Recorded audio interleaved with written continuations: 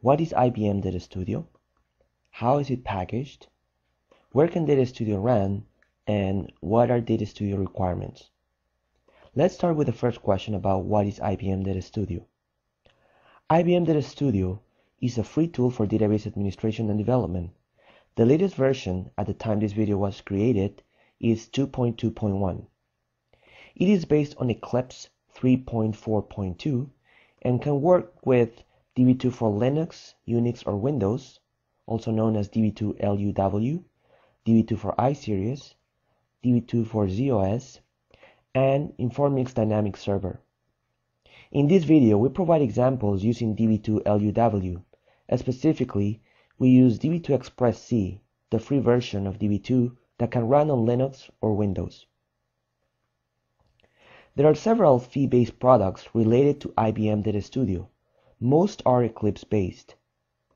We have, for example, InfoSphere Data Architect or IDA, which provides a complete solution for database design.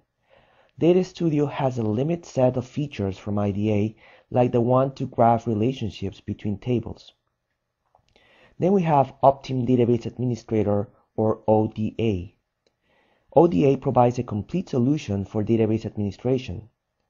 Data Studio has most of the features available with ODA except change management. Change management is useful when your database structure needs to be modified affecting many tables that are related between each other. With this feature, ODA takes care of propagating changes and keeping the data consistent. We also have Optim Development Studio or ODS. ODS provides an environment for database developers to work on functions, develop store procedures, SQL scripts, web services, and so on. Data Studio provides this same functionality, but it does not have pure query support. Pure query is a new Java API from IBM that allows Java developers to code in a simpler way.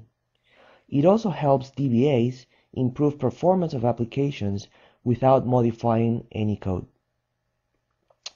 Note the two asterisks at the, at the bottom indicates that Optim Database Administrator and Optim Development Studio are now included with most price DB2 editions.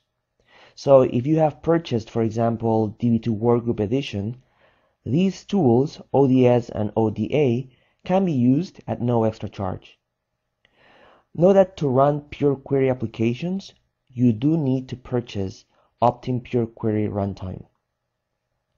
Next, we have Optim Query Tuner, which is a tool that can help you tune your queries.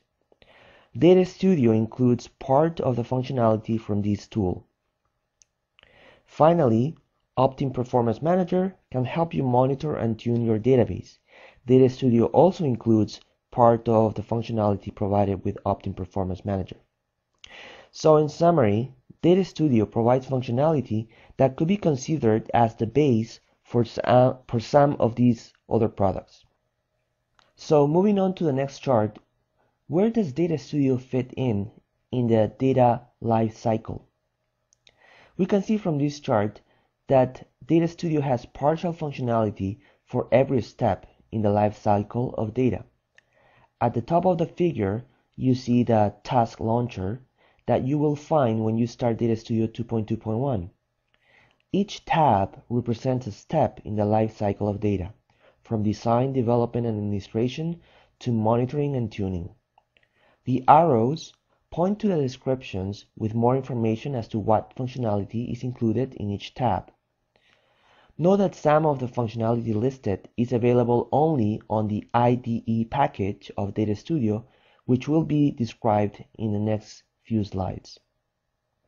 The other products mentioned in the previous slide, like ODS, ODA, IDA, and so on, provide complementary functionality for each step in the data life cycle. Now let's talk about packaging. Data Studio is available in two packages, a standalone and IDE. Let me start with the IDE package, which is here on the second line. IDE stands for Integrated Development Environment. With this package, you get everything Data Studio can offer including an installation manager. It also allows you to integrate well with other IBM Eclipse-based tools. For example, if you have IDA installed in your system, then after installing and starting Data Studio IDE package, you would see all the menus also from IDA from the same console as one single tool. As you install more products that can be integrated like these, you will see more menus appearing from the same console.